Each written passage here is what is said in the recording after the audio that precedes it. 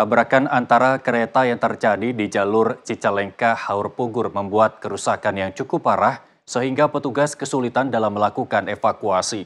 Basarnas fokus pada upaya evakuasi korban yang terhimpit oleh gerbong.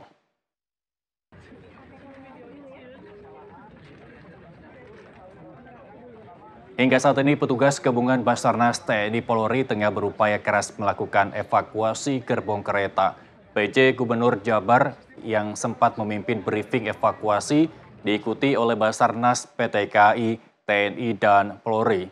Kepala Basarnas Marantika sempat menjelaskan bahwa terdapat dua korban penumpang yang belum dievakuasi. Basarnas dibantu TNI dan Polri fokus pada upaya evakuasi dua korban tersebut.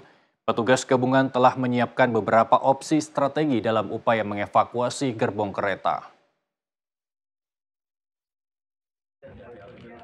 Saat ini dapat kami informasikan tim sudah kami bagi dua, posko ada dua. Yang pertama posko kita yang di sini adalah uh, posko evakuasi dan yang satu lagi ada posko di rumah sakit daerah Cicalengka untuk medisnya.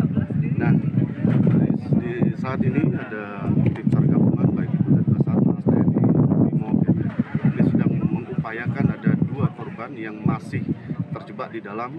Ada kita lihat itu tadi ada gerbong yang terguling, nah di situ masih ada satu korban lagi dan gerbong yang sebelah timur ini ada satu korban yang terjepit di antara gerbong.